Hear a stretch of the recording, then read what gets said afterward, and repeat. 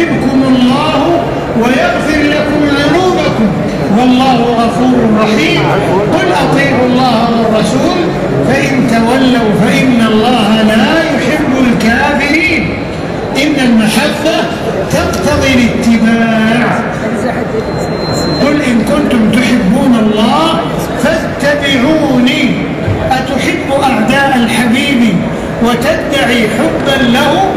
ما ذاك في إمكاني وكذا تعادي جاهدا أحبابه أين المحبة يا أخ الشيطان؟ هذا هو مع العمل الصالح والخلق القويم والعلم النافع والعمل الصالح والدعوة إلى الله عز وجل على بصيرة والصبر على الأذى فيه. هذه هي المسائل الأربع وكل, وكل هذه الأمور هي مفهوم الدين الحق على منهج الوسط والاعتدال. وكذلك جعلناكم أمة وسطا لتكونوا شهداء على الناس ويكون الرسول عليكم شهيدا. فلا غلو ولا تنطع ولا تطرف ولا إحداث وزيادة في الدين ولا جفاء ولا تساهل ولا إلحاد ولا انحلال وإنما سير بهذا الدين القويم باعتداله ورحمته وتسامحه. وهذه رسالة الإسلام إلى العالم.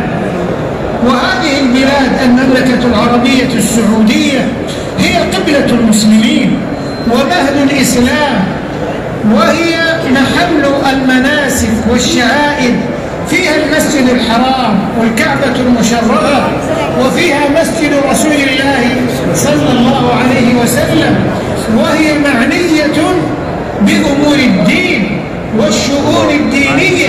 ولهذا فإننا نشكر القرارات الحكيمة من ولاة أمرنا حفظهم الله على العناية بالشؤون الدينية ولا سيما في الحرمين الشريفين.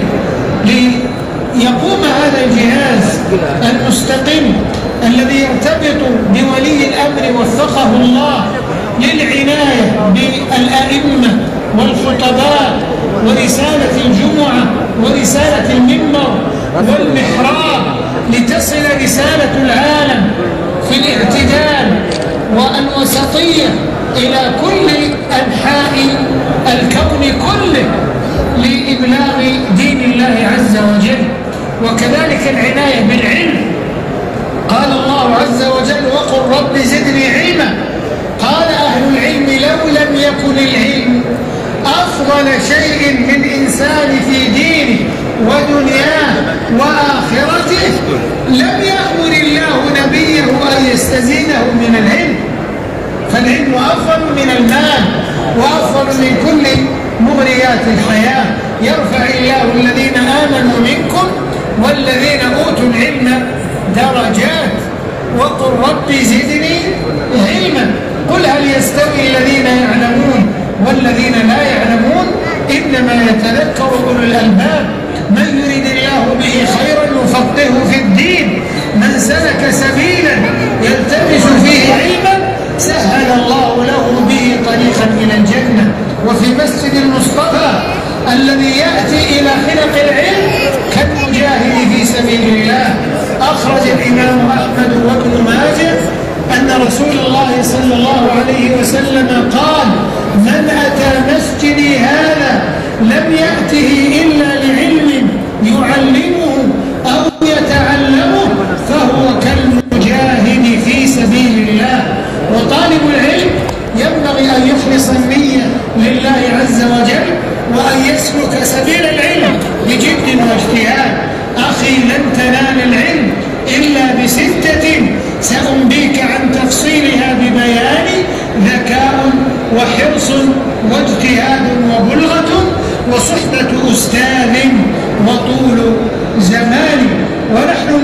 إطلاقة العام الدراسي ومع استهلال السنة الدراسية الجديدة نهيب بطلابنا طلاب العلم بالجد والاجتهاد في علومهم ومعارفهم وفي حضور حلق العلم والدروس في الحرمين الشريفين وكذلك المحاضرات وأيضا ما يقوم به معهد الحرم. حروف الطلاب وتعليمهم أمور دينهم وما يحتاجونه في عقيدتهم وعباداتهم ومعاملاتهم. كذلك المعاملات حسن المعاملة بين المسلم وأخيه في بيعه وشرائه وتجارته ورهنه ونحو ذلك. فلا يغشه ولا يضره ولا ولا يتحايل عليه بل يسير في أمور معاملاته على الحلال وأحل الله البيع وحرم الربا. والعناية أيضا بمقاصد الشريعة الخمس في حفظ الدين والنفس والعقل والعرض والمال حفظ الدين بالمحافظة على التوحيد والعبادات في جانب الوجود وجانب الهدف. وحفظ النفس بصيانتها وعدم إزهاقها وعدم سفك الدم الحرام وحفظ العقل بصيانته عن المسكرات والمخدرات والأفكار الضالة والجماعات الزائرة والتنظيمات الإرهابية المشبوهة وكل دعاوى الإلحاد والانحلال عن هذا الدين. وإنما يكون فكر المسلم فكرا مبنيا وسطيا على الاعتقاد الصحيح والمنهج السليم. وحفظ المال أيضا وحفظ العرض وعفة اللسان الأخلاق القويمة كما قال تعالى وإنك على خلق عظيم فبما رحمة من الله كنت فضلا غليظ القلب لانفضوا من حولك والحرص على اجتماع الكلمة والاعتصام بالكتاب والسنة. إنما المؤمنون إخوة واعتصموا بحبل الله جميعا ولا تفرقوا. ولهذا فإن جهاز رئاسة الشؤون الدينية بالمسجد الحرام والمسجد النبوي جهاز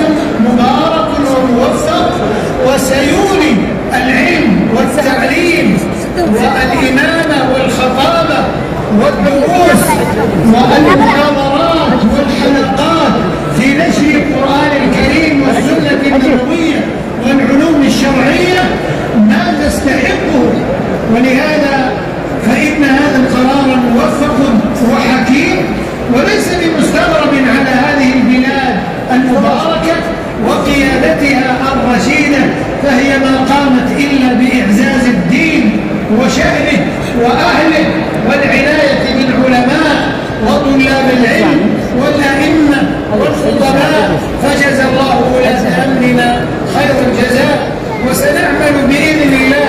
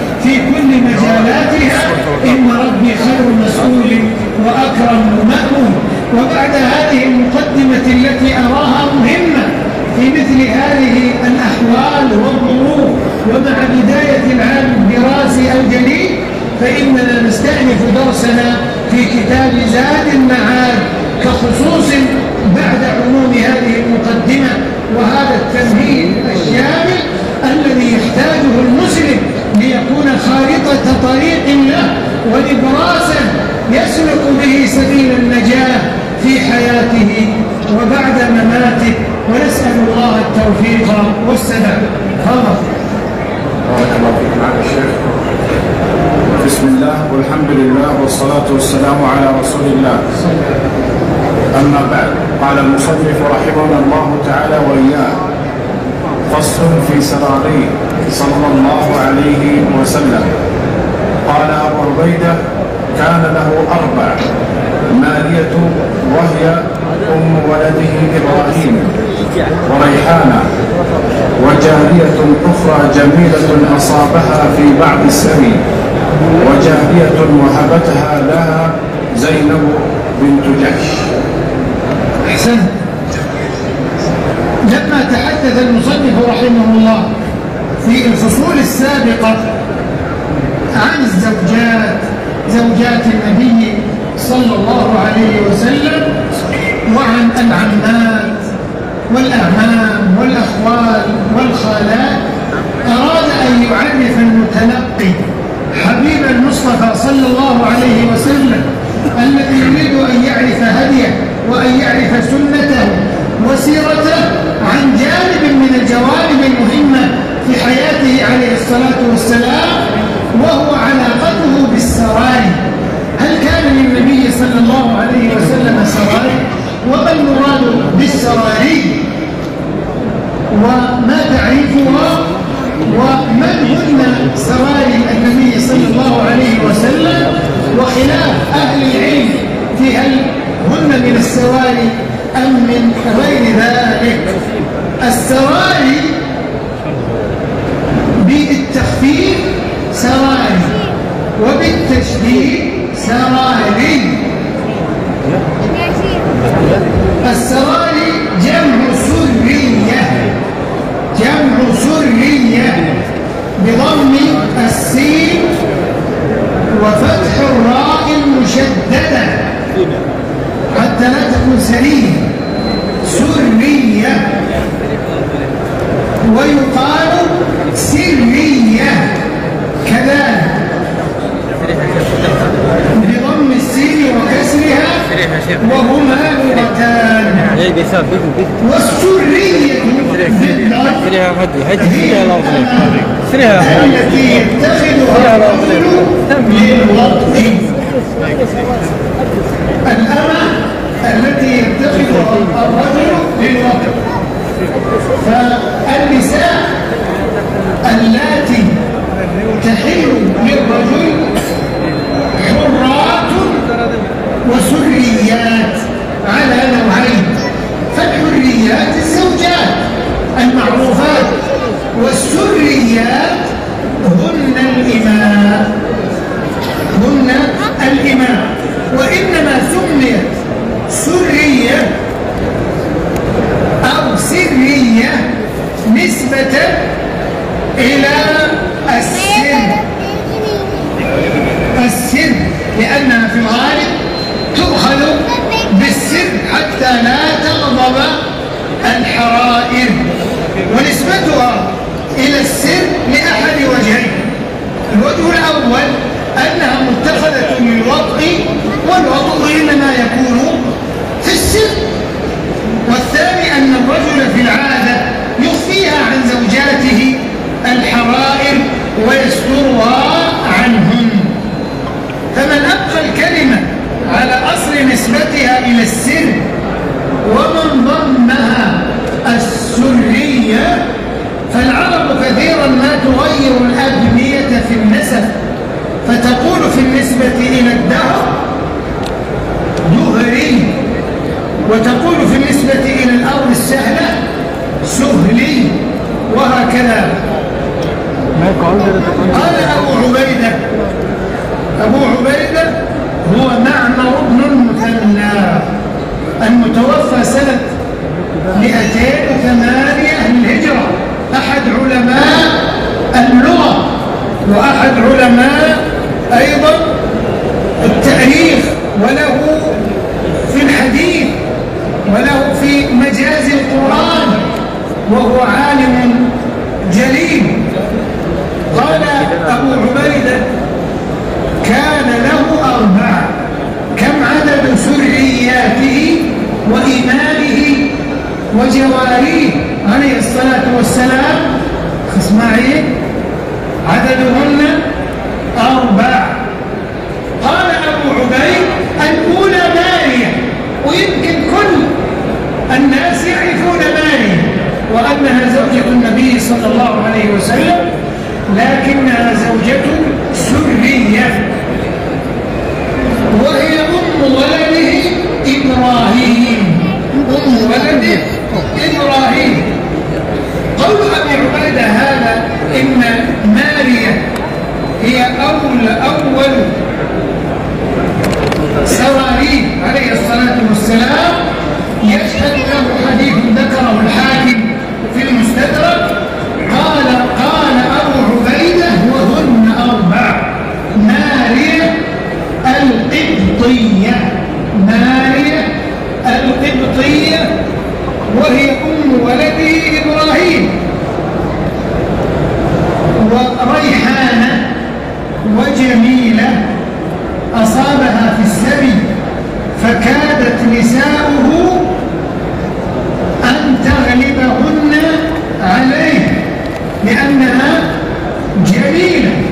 وهذه الجميلة اسم أو وصف سيأتينا في بيان ذكرها. وكانت له جارية أخرى نفيسة وهل نفيسة اسمها أو صفتها هذا سيأتينا وهبتها له زوجه زينب بنت جحش رضي الله عنهن وأرضاهن. ماريا الأولى ماريا هي أم ولده إبراهيم. وماريا هذه هي ماريا القبطية. بها. وبأختها سيرين. ماريا وسيرين أخوات. بعثهن المقوقس. صاحب مصر. مع حاطب بن أبي بلتعة رضي الله عنه إلى رسول الله صلى الله عليه وسلم فعرض عليهن حاطب الإسلام فأسلمن فاتخذ رسول الله صلى الله عليه وسلم لنفسه ماريا وأهدى أختها سيرين لحسان بن ثابت رضي الله عنهم أجمعين. إذا عرفنا الآن أن ماريا قبطية من القبط من مصر يعني أصلها نصرانية. ثم جاءت وأسلمت إلى المدينة وتزوجها النبي صلى الله عليه وسلم وولدت له إبراهيم. وأختها سيرين أعطاها إلى حسان بن ثابت. ولا أرض فحسان بن ثابت شاعر رسول الله صلى الله عليه وسلم الذي نافح عنه وعن الدعوة وأثنى على طيبة وأهل طيبة.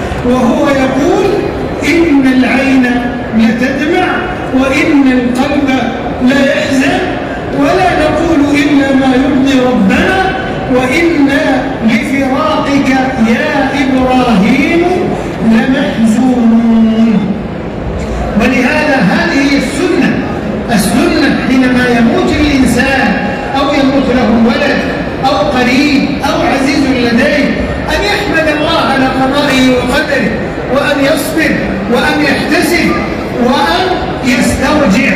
يقول إنا لله وإنا إليه راجعون. وبشر الصابرين الذين إذا أصابتهم مصيبة قالوا إنا لله وإنا إليه راجعون. الأتآه النتيجة؟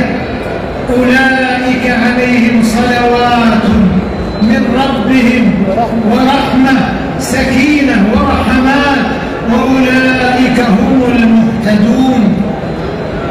إن العين لتدمع وإن القلب ليحزن. نقول إلا ما يرضي ربنا وإنا لفراقك يا إبراهيم.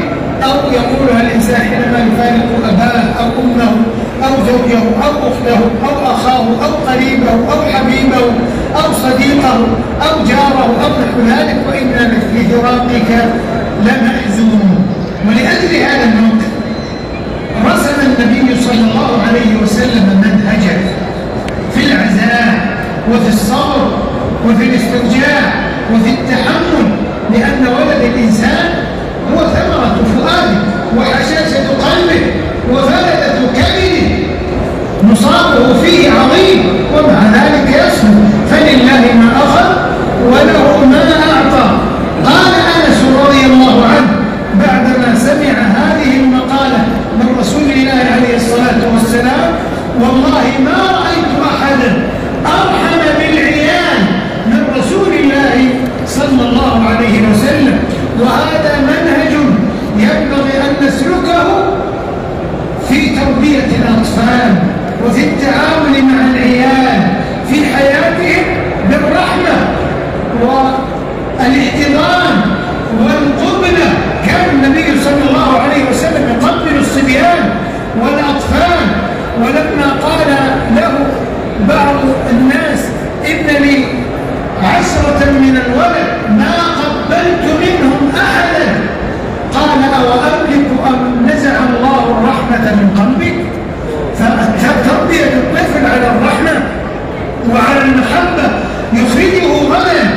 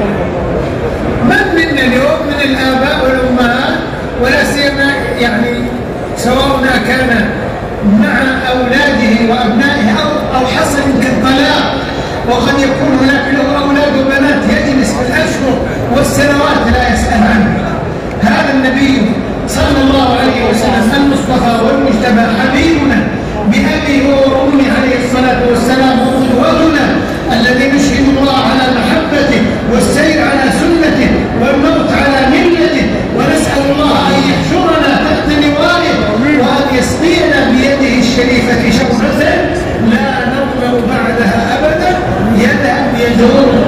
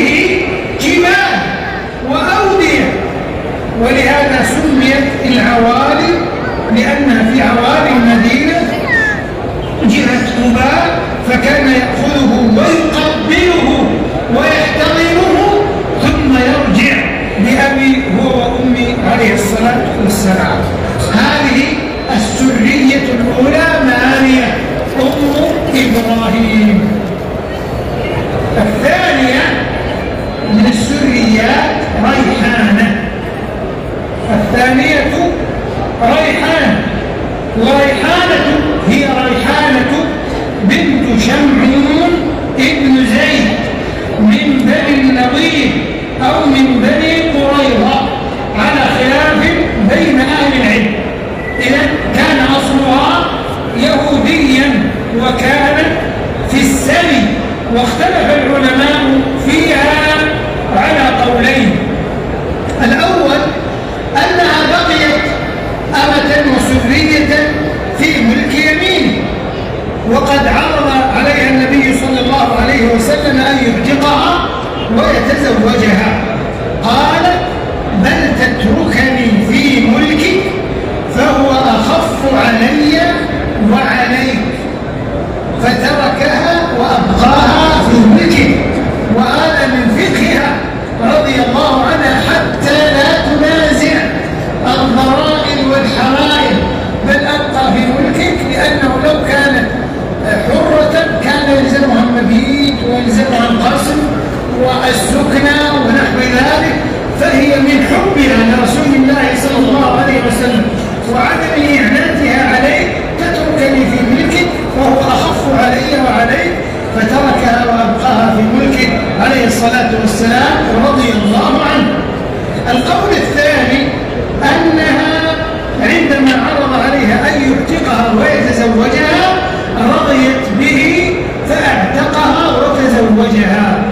وعلى هذا لم تكن سرية إلا أن القول الأول أنها بقيت على سنيتها وملك يمينه عليه الصلاة والسلام أقوى وهو الذي رجحه واختاره المصنف العلامة ابن القيم رحمه الله وجزم به إذا ريحانة من سراي رسول الله صلى الله عليه وسلم على القول الراجح قال المصنف رحمه الله ثالثا الثالثة وجارية أخرى جميلة هل جميلة هنا خبر جارية يعني وجارية جميلة على أنها اسم أو جارية جميلة على أنها صفة لأهل العلم. أصاب النبي صلى الله عليه وسلم جميلة في بعض السبي ويحتمل جميلة أنها اسم لها اسمها جميلة وهذا كانت تسميه العرب ولا زالت والجمال أخص خصائص المرأة. فحري واسم سائغ وكان المسلمون والعرب والى اليوم يسمون جميلة والجميلة جمال الأدب والخلق وليس مجرد جمال الشكل وهي يعني اسم وقد يحتمل أن تكون صفة ويحتمل أن تكون اسما علما عليها واسما لها لكن الإمام الحاكم في المستدرك ذكر أن جميلة اسم. وليس صفة.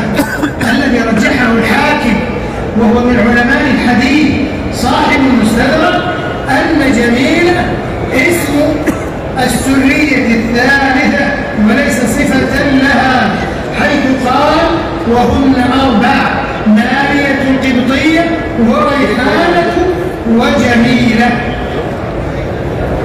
هذه الثالثة.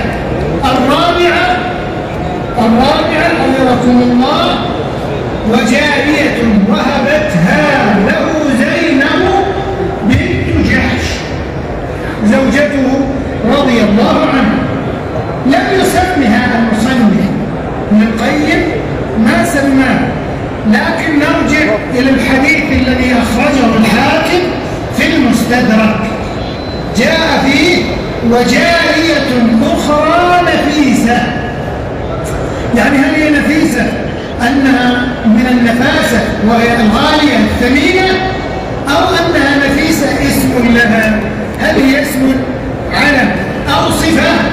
قولان لأهل العلم الذي رجحه الإمام الحاكم رحمه الله أنه اسم لها. قال وجارية أخرى نفيسة وهبتها له زينب بنت جهل وهو محتمل الأمرين كذلك كما في جميلة. جميلة ونفيسة اسمان وصفتان. القول الأول في نفيسة أن يكون صفة لها. ويقوي هذا الاحتمال أن التي وهبتها إياها زينب لإرضائه عليه الصلاة والسلام ونعلم قصة زينب رضي الله عنها. لما حصل ما حصل؟ أهدت هذه الجارية إلى النبي صلى الله عليه وسلم لأن النبي عليه الصلاة والسلام كان قد هجر زينب لما تكلمت في شأن صفية ثلاثة شهور ذا الحجة والمحرم وصفر فلما كان ربيع الأول الذي قبض فيه رسول الله عليه الصلاة والسلام دخل عليها ورضي عنها فقالت ما أدري ما أجزيك يا رسول الله ثم وهبت له هذه الجارية وهي نفيسة فهذا يقوي أن تكون قد وهبته جارية هي من أنفس جواريها اسما وصفة رضي الله عنها وأرضاها القول الثاني أن نفيسة اسما أن نفيسة اسم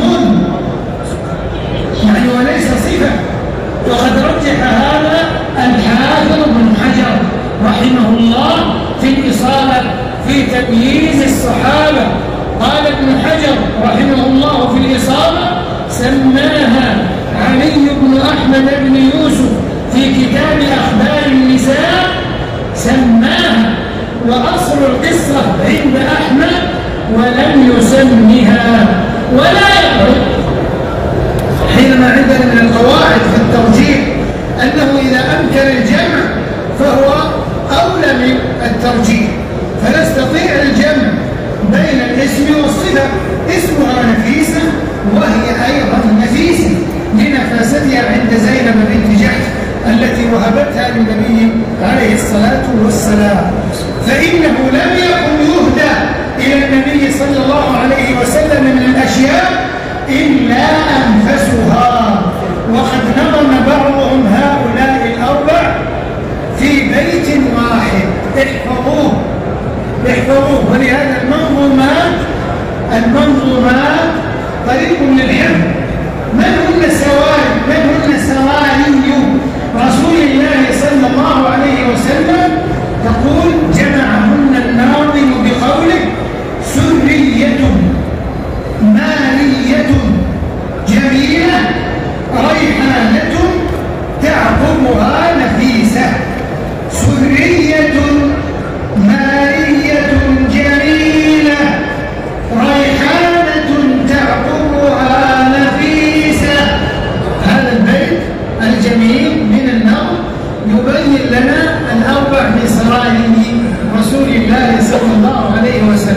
أعيدها لكم؟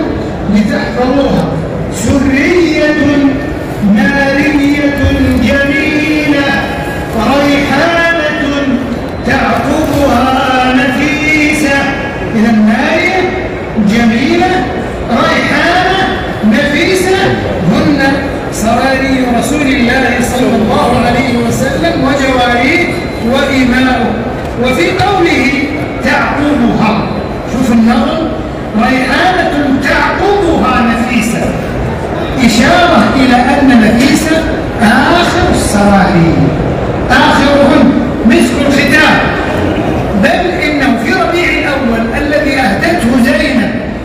آه، نفيسة توفي عليه الصلاة والسلام. تعقبها إلى الإشارة إلى أن نفيسة آخر سراريه عليه الصلاة والسلام حيث أهدته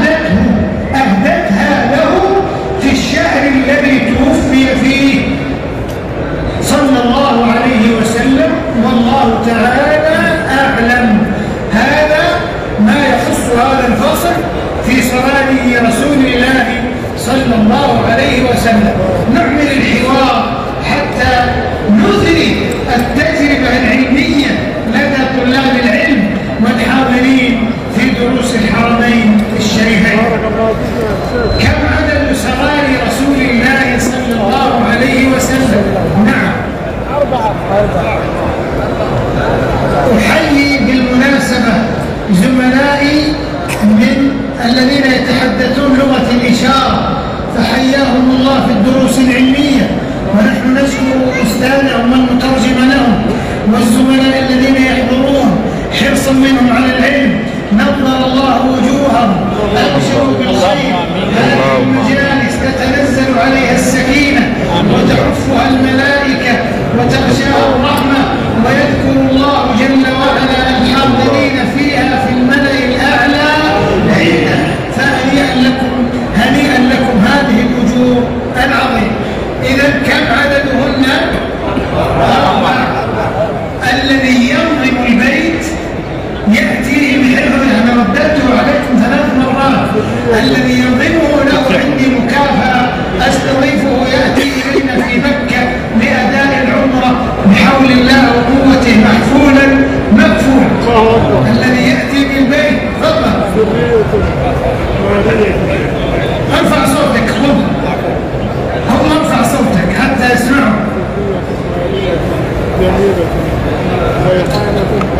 سرية دم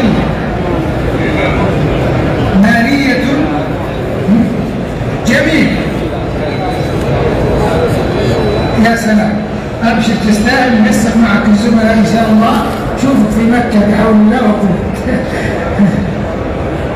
شكرا لطلاب العلم. وتعجبنا هذه الروح من المحبين وزائر مسجد رسول الله صلى الله عليه وسلم. وهم يتفاعلون وستعمل بإذن الله رئاسه الشؤون الدينية على إعزاز هذه الحلقات وهذه الدروس وترتيب المسابقات العلمية والتنافس الشريف. وفي ذلك فليتنافس المتنافسون. وكذلك العناية بالحلقات من حيث تقديم الخدمات الدينية وما يعين على أداء هذه الحلق وهذه الدروس برسالتها العظيمة من رحاب الحرمين الشريفين. نعم. الفصل الذي بعده تفضل. قال رحمه الله فصل في مواليه صلى الله عليه وسلم فمنهم زيد بن حارثة بن شراحيل حب رسول الله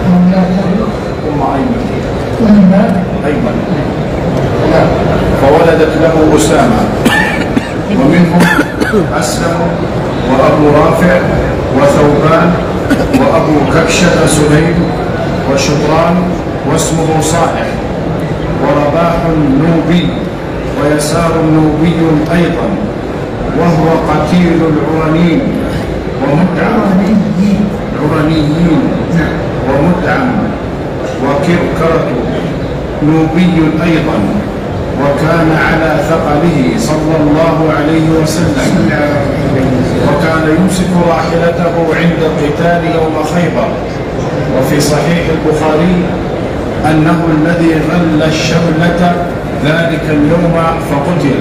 فقال النبي صلى الله عليه وسلم إنها لتلتهب عليه نارا. وفي الموطأ أن الذي غلها مدعم وكلاهما قتل بخيبر والله أعلم. أحسنت هذا الفصل في مقابل الفصل الذي قبله الذي هم الفصل السابق السراري وهذا الفصل في الموالي في الموالي الذين هم يقابلون يعني سراري وموالي الرجال يسمون الموالي يأتون أيضا للخدمة. لخدمة النبي صلى الله عليه وسلم ويسلمون ويصح إسلامهم ومنهم من يعتق. إذا الموالي جمع مولى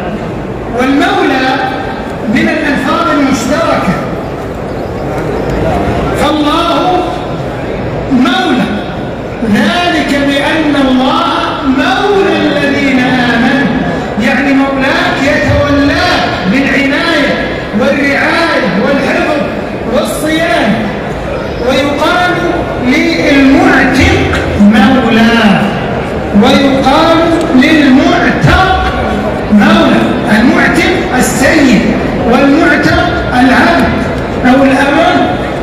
una mácula, duele